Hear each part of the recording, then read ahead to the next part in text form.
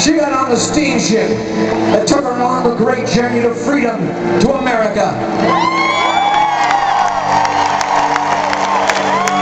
That little girl was my grandmother. And she has inspired everything that I've achieved in my life.